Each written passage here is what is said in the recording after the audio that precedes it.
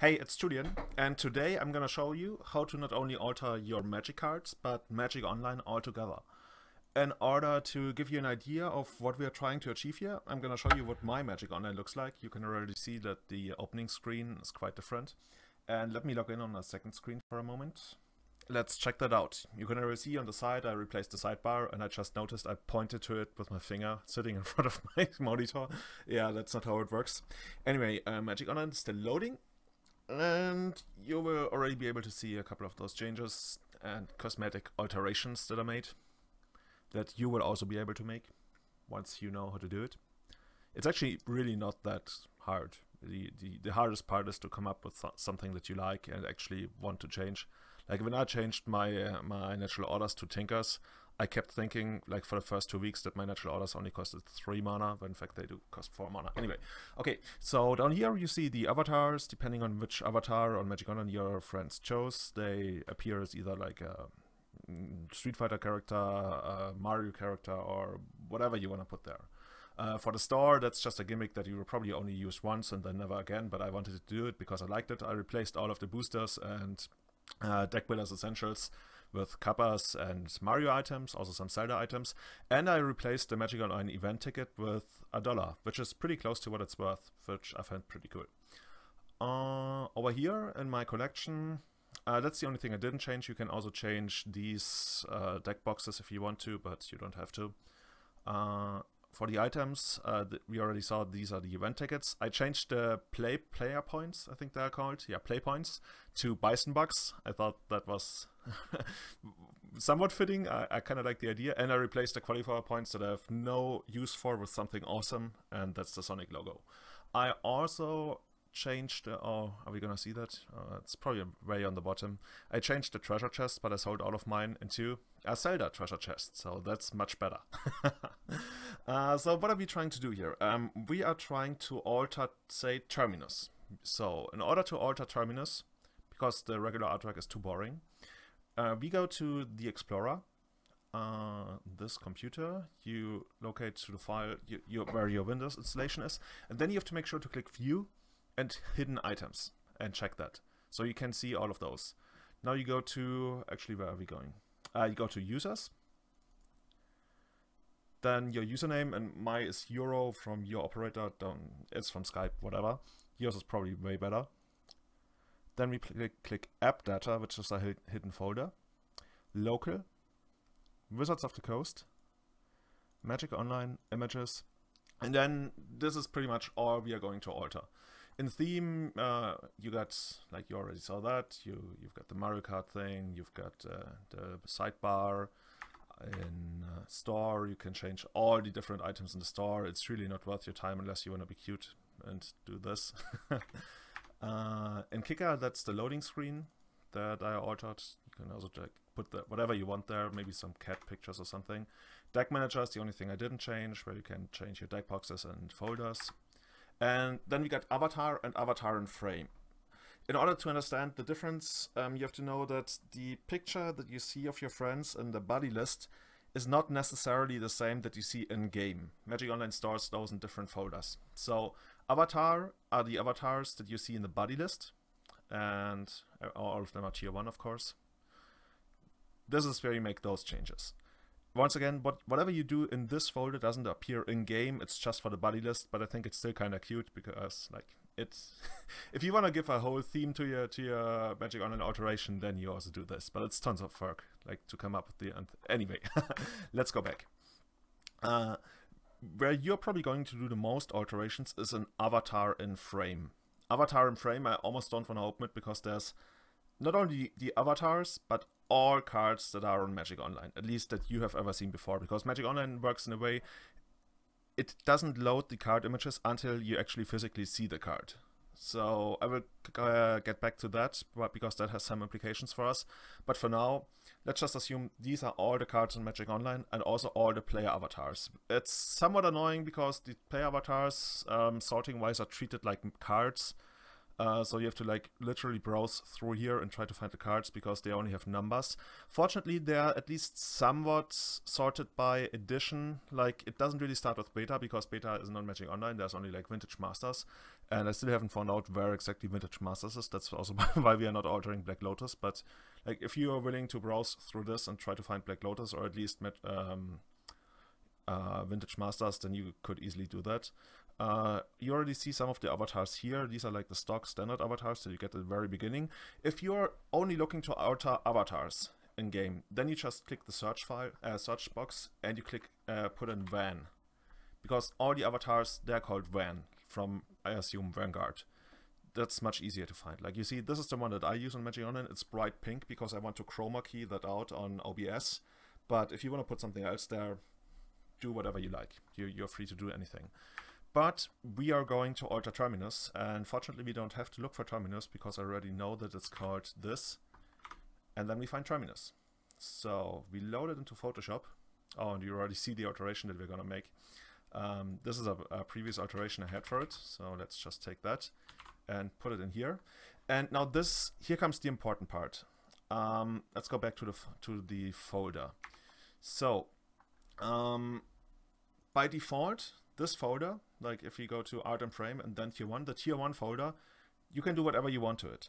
However, next time you load Magic Online, it will check for the files and see whether they have the, correct checksum or whatever and overwrite them if they are wrong. So in order to preserve your alterations, you have to set that properties, uh, security, and then you have to give them like deny writing. Uh, what do you call that? Rights. So I just check to make sure I haven't denied writing rights because that's the default. So I can just go ahead, take this, and then you can also use Paint. You don't need to use Photoshop. Then you will save it. Make sure to save it as a JPEG, not as a PNG, because the file that we are altering is a JPEG. And this is the wrong folder. It's here, users, Euro, app data, local, Wizards of Coast, Magic Online, images, art and frame, tier 1. And then we already have the correct name here, and I just override it. Yes. Oh, my Photoshop is in German, but I guess you, you, you're following. Okay, now here's the important part we go here and we turn Magic Online to not, or actually not Magic Online, but all of the system to not grant writing rights. So deny, yes. I'm doing it for all the, for like for the system and for all the users. I don't know if you actually have to do that, but I'm always just doing it like that and then takes some time because it needs to do it for every single file. And this way, you like nothing on your system can overwrite those files now. So Magic Online tries to overwrite them, but it's like, eh, okay, whatever. so you get to use whatever you want. Uh, you have to do the same for all the files, like for all the different versions that you want to alter, like avatars or stars or whatever. Like these are already pre-writing denied because I, I never changed that back. But in order to alter the, the terminus, I had to I had to remove the the deny on writing for this folder, but now it's back in place. And we can safely launch Magic Online. I also um, recommend making a backup of all of those changes, usually by copying the image folder and putting it somewhere on the desktop. I actually have it over here. It's called Modo Alters. Because if for some reason you, you removed or you actually you granted writing rights back to the system and you started Magic Online, all of your alters would be gone. So let's head back into Magic Online. Once again, I'm gonna input my password on the second screen, if it lets me. Okay, anyway, we have to do it again because Magic Online crashed while I was doing this. Um, yeah. Nothing to say about that. Uh, gonna look. Okay, so now it loaded correctly. Um, we're gonna head to the collection. And now we wanna check out Terminus, but since I actually don't own any terminus, we have to set quantity to zero. You click on quantity over here, and then usually it's set to one, which makes sense because you only want to see the cards that you own.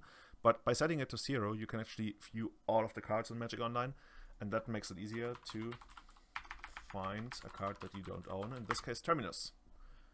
And as you can see, we made the change to the card. I don't know why it's looking so weird. Maybe it's some kind of foil animation. I don't know Yeah, whatever. Uh, this works. It's it's gonna look like this, somewhat like this in game. And yeah, we just made our first Magic Online alteration. Now, Before we proceed, there's something very important for you to understand. Otherwise, it's gonna be like annoying, and then you have to do everything all over again. You have to understand the way Magic Online handles pictures or card images. They are not stored on your system all the time, but they are only downloaded the first time you ever encounter the card. From then on, you're gonna have the card on your on your on your hard disk, but before that, the card is not on your hard disk. That way, Magic Online avoids having to load I don't know twenty thousand different cards to to your hard drive. But since we are going to set the permission on the folder where the cards card images are stored to like to not grant permission to write into that folder anymore because we wanna like retain our alterations. Because of that, we have to load those images first. And that's quite tedious and quite annoying unless you have already played tons of Magic Online. Then probably all of those cards are gonna be on your system.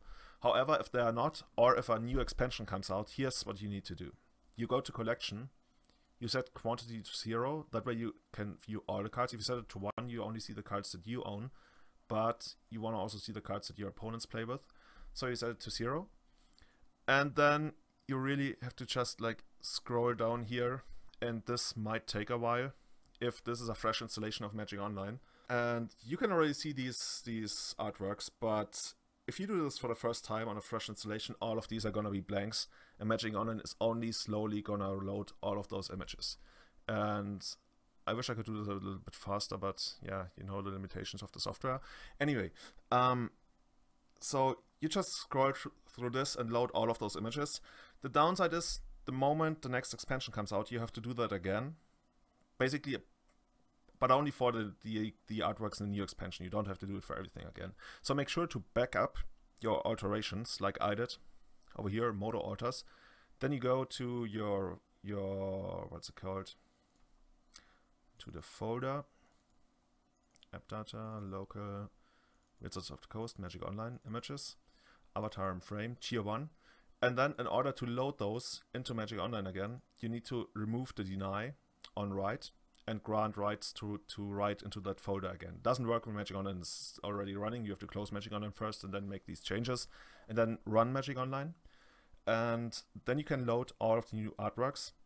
Then you close Magic Online, you copy your alterations back into the tier 1 folder, and then you set or then you deny writing rights once again for probably all three users I've, I've for system and two users. I've always did it that way and it worked. So yeah, this is how you alter Magic Online. If you have any questions, um, just let me know in the comments. If you like this, also let me know. Oh, by the way, you see, I actually haven't loaded these card images. This is what it's going to look like for you if this is a fresh installation. Once again, if you already played tons of whatever, Legacy, Modern, everything, and you have seen all the cards in that format, you probably have already, like, you probably already have all of those images on your on your hard drive. But if you don't, and you will every once in a while encounter cards that are just like blanks, and if it happens too often it's somewhat annoying, then you at least know how to fix that by removing or granting writing rights to the folder again and just loading those cards into your, your collection by setting the quantity to zero and scrolling to it. Or you can even like just enter the name. Say what's this called? Bone float, bone flute. I just enter this. And the artwork doesn't load because I haven't granted writing rights right now because I want to preserve my alterations. But you get the idea. So yeah, that's how you alter Magic Online. That's how you get all of this. And hope you liked it. Let me know. And see you somewhere on Twitter. Anyway, thanks for watching.